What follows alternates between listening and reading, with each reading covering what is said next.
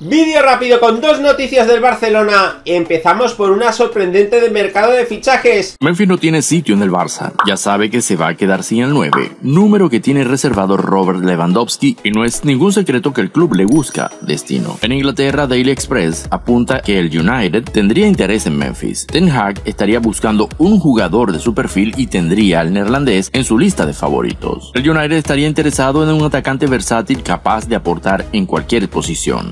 Reúne las características idóneas para el puesto. Ten Hag teme que Cristiano salga, de ahí el interés de contratar a otro atacante. El problema reside en que Memphis, para salir, habría pedido que se le busque un equipo Champions, requisito que no cumple el United. Eso es lo que ha frenado hasta ahora el fichaje de De Jong, su compañero del Barça, por el conjunto Red Devil y podría frenar también el suyo. En cualquier caso, el mercado sigue abierto y no hay nada definido ni con De Jong ni con Depay. El Barça intenta darle salida para hacer caja y poder usar ese dinero para otros refuerzos. Por tanto, esta es la situación a día de hoy con el Manchester United, Memphis y De Jong en la mira de los Red Devils. Vamos ahora a hablar de la tremenda alternativa que baraja el Barcelona por si finalmente Jules Condé acaba siendo jugador del Chelsea inglés. La llegada de Jules Koundé al FC Barcelona está todo menos asegurada. De hecho, ante la irrupción del Chelsea en las negociaciones con el Sevilla, el traspaso luce cada vez más complicado. Los culés no están en condiciones de alcanzar las pretensiones económicas de los de Nervión, que han aceptado los 65 millones de euros que le ponen los londinenses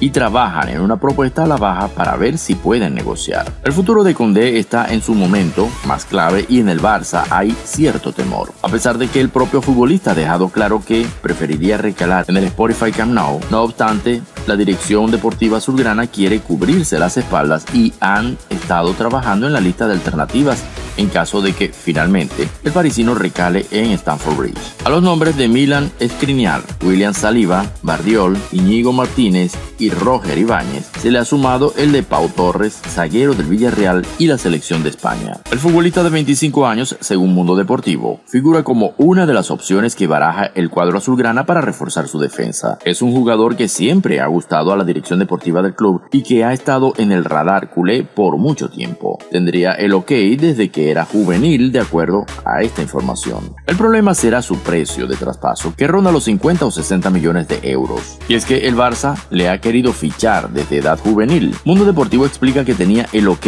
a su contratación, pero por un motivo o por otro, nunca se dio el sí final. Con 16 o 17 años, la Secretaría Técnica del club decidió recomendar al futbolista, pero la operación se fue proponiendo hasta que se descartó porque habían otras prioridades. Ahora se podría retomar la operación. Merece la pena recordar que en 2018 el Barça tuvo atado a Pau Torres con Robert Fernández en la Secretaría Técnica. En ese momento, la apuntaba a costar 25 millones de euros, pero con la entrada de Eric Avidal al cargo se quedó en nada. Ahora puede costar el doble o más, puesto que el Villarreal lo considera uno de sus jugadores estrellas. Solo le retenerían en caso de que, en cuestión, quiera quedarse en la cerámica. Si no es así, lo pondrán en el mercado antes del 31 de julio. El año pasado, el Tottenham llegó a ofertar 50 kilos y se prevé que no vayan a aceptar menos de eso. La operación, en cualquier caso, dependerá de lo que suceda con Condé. Por tanto, Pau Torres, internacional español, de nuevo en la agenda culé.